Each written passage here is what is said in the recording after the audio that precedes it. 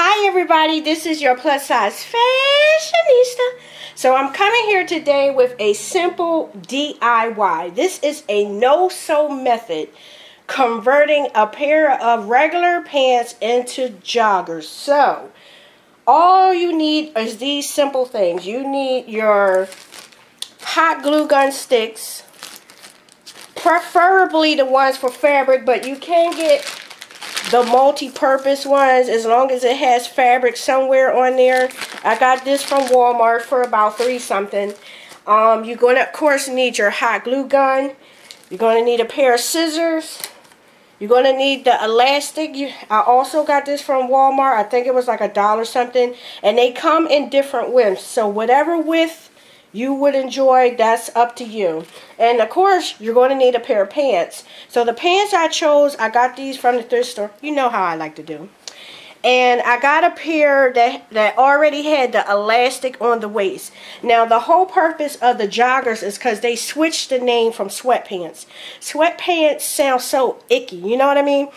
But joggers does sound stylish. So uh, what better way to convert a regular pair of pants by having elastic already at the waist. So this is what it looks like at the bottom. It's just a regular straight leg pants. So what we need to do is turn these pants inside out. And don't forget when you're choosing the pants, depending on how you want your jogger to fit, I prefer to have mine a little bit oversized. So I made sure that I got a, a couple sizes up from my normal size. So this is what the pants look like on the opposite end. So we're going to take our elastic. Now I already measured the elastic around my own ankle. And that's what you need to do. You want to you want to measure one piece around your ankle so that when you hot glue gun it, it overlays itself like this. But not too tight will it will hurt your ankle. You get me? And then once you do that, you just overlap it and then you could cut the same exact size for your second piece. And these come in different widths. They also come in black if you need them to. Um, but this size is simple for me. So what we want to do is, this is the front of the pocket. So I want to make sure that I glue this together first. So I'm, and make sure that you protect your surfaces. So what I'm doing is I'm making a nice circle spot and I am overlapping that circle spot like that. Tap tap. And just hold it for a few seconds. Please be careful because the hot glue gun and the hot glue is hot. You don't want to burn yourself so please use caution. And this is what it looked like when it's together. So now I want to take this elastic and I want to stick my pants through the elastic circle. That's why it's good to measure it so that this is not too tight around your ankle where it's going to hurt. And all I'm basically doing is just bringing the pants through.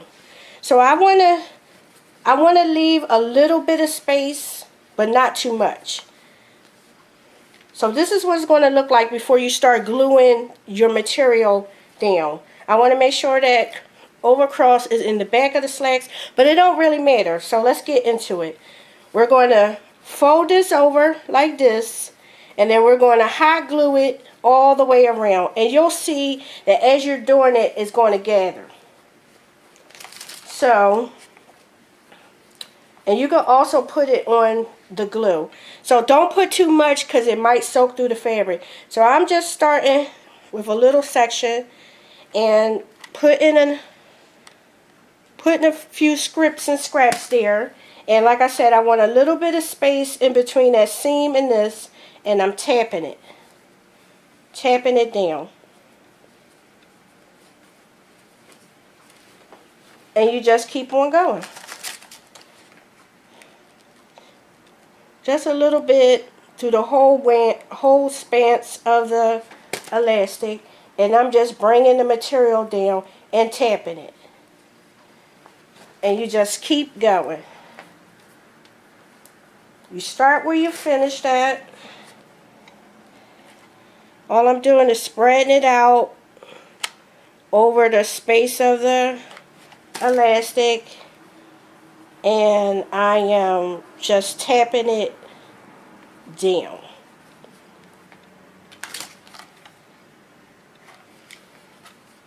Always have extra glue sticks ready because sometimes it goes so fast. And I'm tapping it down. So for added security, because it's all caught onto the elastic, but for added security, you have two things you could do. You could cut off the excess or you could tap down the excess. And I choose to cut it off. So I'm going to take my scissors and I'm going to slowly I am going to cut the excess off. Okay, so I cut off the excess, as you can see, all the way around. And what I'm going to do is I'm going to make sure that these don't roll up. So I'm just going to check for the underside and tap that down too. So it is a good idea to do the underside too because you don't want it to roll away. It will roll away. And we don't want that. So we want to be able to do both sides. And ooh, please be careful not to put too much because you don't want it to pull through the other side of the fabric. So as you can see, I'm I'm putting some on the underside of the elastic and I'm doing the same thing I did on the other side. I'm just tapping it down. And I'm going to keep on going. Parts on the underside that's not looking like it's going to hold down. You just glue it. Go around and, and you know, because you want, you don't want the stuff to come apart. So you just want to make sure that you're tacking everything down so that it won't rise up during your washing because the when you get the fabric kind you're you are able to wash the clothes without fear of it being messed up because of the glue.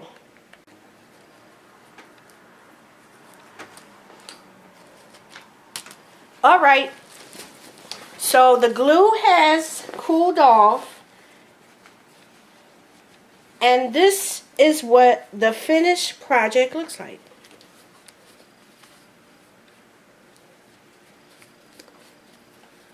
This is what the bottom of the pants look like. And see, by me not doing, by me measuring my ankle, um, where it's overlapping, even with all this extra material, as you can see, I'll still be able to get my foot through there nice and comfortably.